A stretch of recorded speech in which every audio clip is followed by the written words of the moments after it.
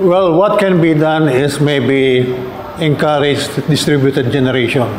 With distributed generation, you can encourage small players, small generators to build up, develop a new small generation along the, the rural areas.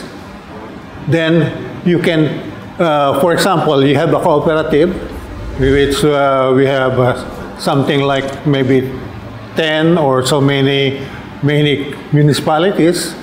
Then what you can do is to supply, let's say, one small municipality with uh, several uh, renewable generator.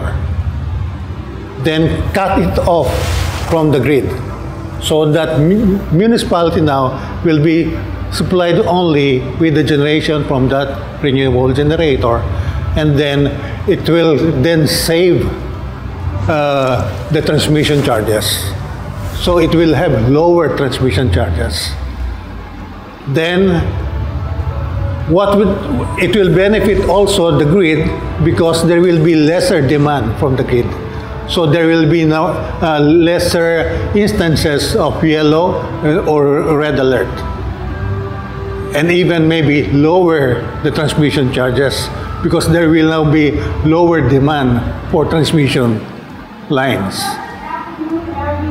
now with the distributed, generators, you can uh, supply that with solar and battery, or maybe even in, in, our, in, let's say, in our eastern areas, there are so many mountains. So you can supply them with, with uh, mini, uh, micro hydro, or even micro wind.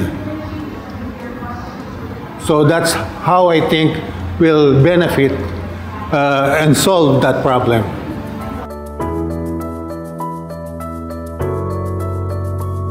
Well, you need regulation because now that cooperative will have different uh, prices.